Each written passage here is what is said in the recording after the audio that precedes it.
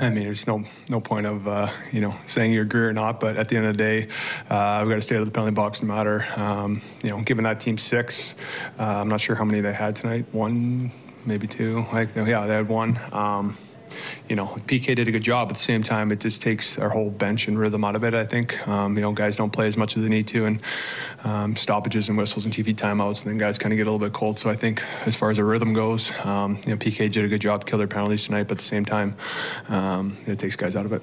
They had like five minutes, 18 seconds more of power play time than, than you guys. Are you just when that happens, and a lot of it happened earlier, are you just kind of fighting uphill the whole game?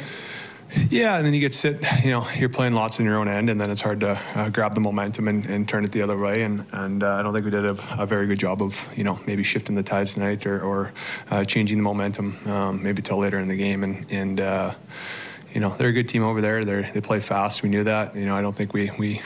We had our skating legs tonight. I don't think we moved our feet enough, and, and it resulted us to play probably uh, way too much in our own end. Uh, you say that, is that, did it just seem like you guys were chasing the puck more than?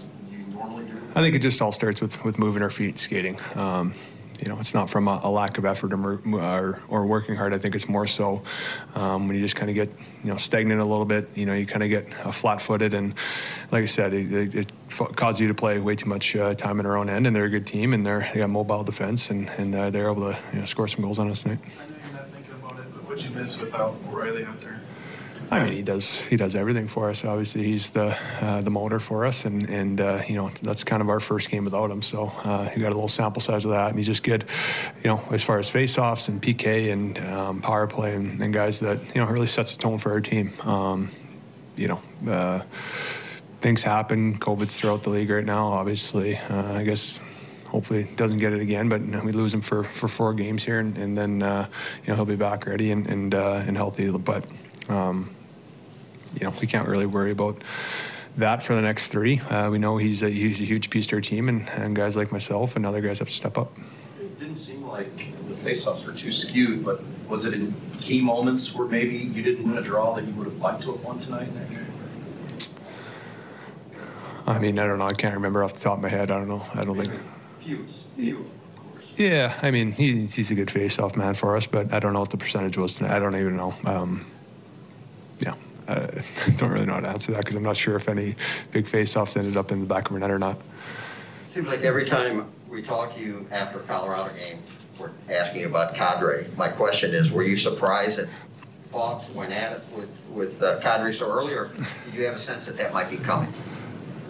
Um, no idea that was coming. I, I passed the puck to, to Falker, and he just kept on skating at me, and I wasn't sure what the heck he was doing. And all of a sudden, he was fighting him. So, um, you know, Falker's a big boy. He's tough. He can fight uh, his own battles, and obviously, he wasn't happy with the hit, and and uh, you know had to settle it himself. So, um, you know, good for him.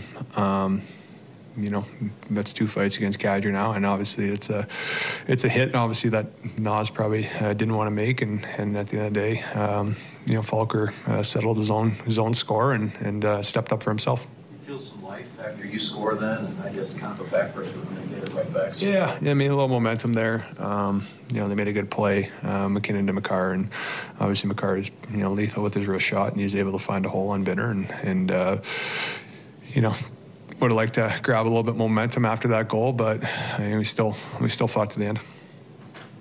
Yeah, you, you obviously you're, you weren't going to go undefeated this season, but what what do you take out of this game? Is there a couple things that you say, well, we, we really need to shore this up, or um, you know, gotta uh, got to have your skating legs every night. There's there's a lot of fast teams. Teams play different styles. We're going to get guy, uh, teams in the East that play a little bit more run and gun compared to maybe a team like LA that we played or Colorado plays fast. So. Um, you know, we got to be ready for every team and every night, and and there's going to be a new challenge, and you just can't be happy you know that you're five and zero. Oh. We got to worry about uh, you know this loss now and, and get ready for Chicago. With all the line changes, it seemed like the chief was changing things up quite a bit. Were you guys able to adjust on the fly accordingly?